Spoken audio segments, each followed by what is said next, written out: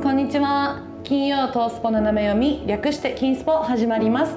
この番組は金曜日発行のトースポ紙面の中からレースの参考になりそうだけど見落としちゃいそうな記事をピックアップする番組です。ぜひ馬券館ぜひ馬券購入の参考にしてね。司会は東京女子プロレスの上井由香と上彦之です。解説はトースポの山口さんです。はい、こんにちは。こんにちは。記者の山口です。髪久々だからかなんかあれだね。なんかちょっとねあの結構3週間ぶりぐらいとか、遅いめはいとまあ徐々にエンジンをかけて。はいすいません、ねえーで何をやるか分かってますか？分かってます分かってますか？小倉記念だはいそうですよ。小倉記念ね小倉記念。小倉はいどこにあるか知ってますか？あの南の方九州の方ですよねはい。あ、そうか。鹿児島そう縁おばあちゃん縁があるから。あ縁がある。まあまあ同じ九州だけどね。そう。上の方の。何県だったかな？何県？何県ですか？ふ福岡。福岡。おお福岡。福岡ね小倉、はい。小倉競馬場で行われる、はい。えーサマー2000シリーズっていうなんかね夏のなんかいい名シリーズ前があるんですよ、はい。5戦6戦あって、はい。それでチャンピオンを決める、うんうん。そのレースの第3戦ということでまあ小回りで行われるハンデ戦。ハンデ戦っていうのはこう斤量がはい馬によって、うん。ハンデキャッパーがつけて、はい。あのー重い馬とか軽い馬とかで、うん。うん。こう結構混戦になりやすいんで、はい。荒れるレースうん。ではあるんで、ね、楽しみだ。そう。まあまずはまあでもねとは言ってもね、はい。こう強い馬がいるんで、うん。手堅くはい。行くならということで。じゃじゃん。はい。手形コースジェラルディーナですね。ジェラルディーナ。で名前はかっこいい。かっこいい。ね。まあね普通におこの馬柱を見てもらえれば分かるんですけど、はい。強い馬相手にね4着6着2着。ね。うん。あのーレースの格も G2G2 前走は G3 なんですけど、はい。結構もう強いメンバー揃ってたんで、この中でこのくらいの競馬をしてきたとなればね当然力は、うんローカルの G3 戦ではまあ力はまあもう上位だろうし、うんうん。あとこの馬小倉小倉競馬場、はい。ちょっとねこう小回りで独特なうん。コース形態ではあるんですけど、はい。そこで2戦2勝。おパーフェクト。パーフェクト。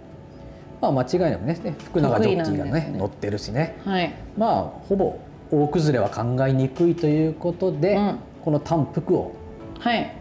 副賞まで買うんですけどはい。まあ全然つかないですねこれじゃあねおそらく一番人気も間違いないんではい。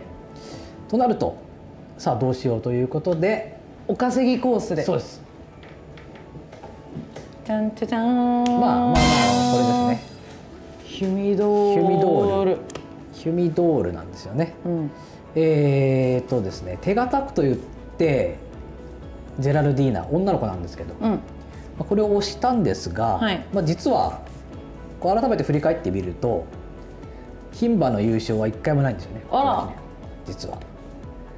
夏は牝馬っていう格言が競馬にはあるんですへええなんでですか？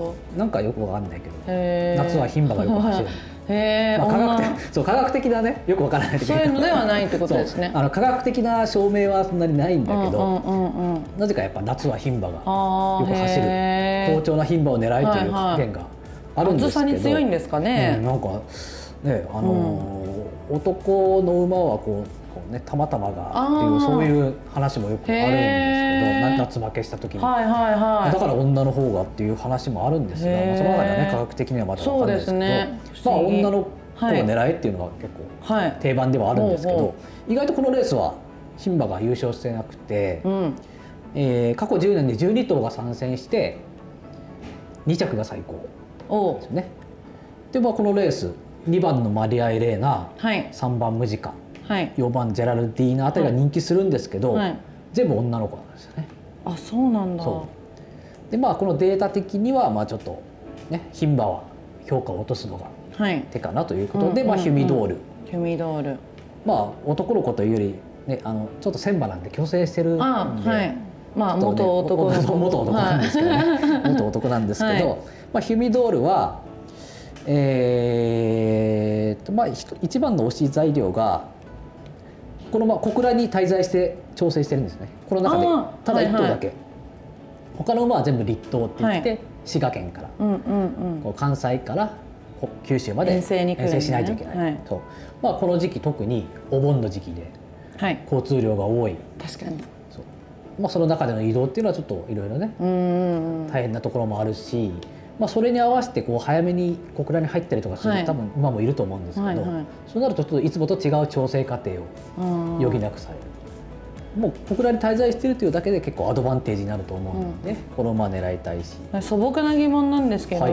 大野さんも汗かいたりしないんですか、犬とかと一緒で。で犬は口で温度調節。大野さんは何で汗かくんですか？よ。くあのえ。パドックとかで見てたらこう白くなっててすごい汗かいて。汗かいてるんだ。うわすそごう。だから夏はもう本当にレースが終わったらすぐ水かけたりとかもねそうですよね。熱中症対策みたいなので今すごい徹底的にやってるんで。いそうなの。初めて聞くかも。そうあのレース終わった後になんかこうミストみたいなところがあって、はいはい。水がジャーッと流れてたりして、そこに当たってずっと歩かせたりっていうのもあるすごい。のでそう馬は暑さに弱いんで、あね弱そうですよねまあ、そういう意味でもね滞在してじっくり調整できてるのいいところなんで、まあ、前走ね5着に負けてるんですけど、ちょっと勝負どころで前の馬が下がってきたりとか、うんうん。スムーズさ変えてたんで、はい。あのまあ、小回りコース得意の馬は、はいまあ、外目の枠もねここからスムーズに運べると思うんで、うんうん。ぜひこの馬のはい。来てくれればワイド総流しで。出た。ワイド総流し。ワイド総流し。そうです。まあねこれで人気薄がね来てくれればはい、ではい。みんな頑張ってください、はい。じゃあね。はい。ということで 小倉記念はこの、はい。こんな感じで。そう。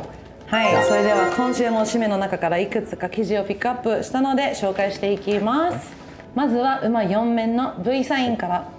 新潟7レース大西エールの池上調教師が東京の前走が目処の立つ内容だったので福島はパスして外回りの新潟を目標にした勝ち身に遅いけどしまいの足は堅実なのでって言ってます、はい。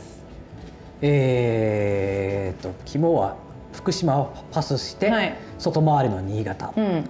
もうコース形態が全然違うんですよね。そうですね。福島は、はい。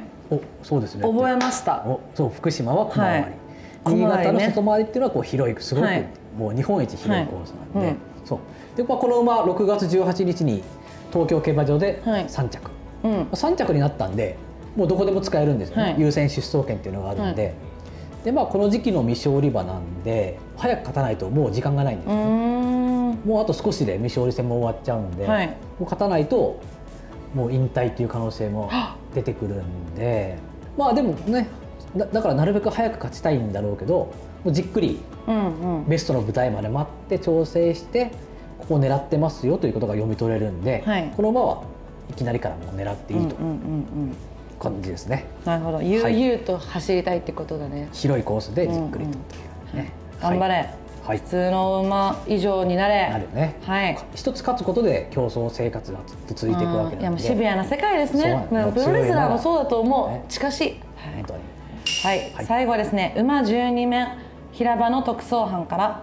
小倉3レース3走前やや重ながら前半3ハロン33秒1のハイペースで楽に花に立っているココシルフィード持ち前のダッシュ力を生かすには今回の舞台は絶好だ 1400m でしまいに甘くなって2着2回は距離が長かった印象もある。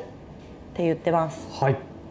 まあこの馬初めてあれなんですね。小倉の 1000m に使うんですけど、はい。まあ、この馬もさっきの大西エールと同じく、はい。6月に使ったっきりもうここまでずっと待機して、ね。もう初めての 1000m なんですけど、はい。ここに書いてあるように前半3ハロン33秒1かなりの速いペースなんですよね、はい。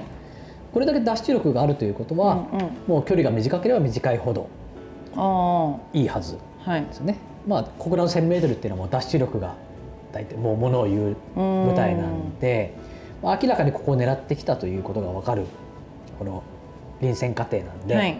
まあ大西エール同様にこのローテを見ると、うんうん。このまあここで勝負だと思うんで、きっちり結果出してくれると期待しています。結構今回あれですね。こう試練系のレースに挑む大間さんの紹介でしたね。そうなんですよね、うん。これから未勝利戦は結構もうシビアになってくるんで、うん。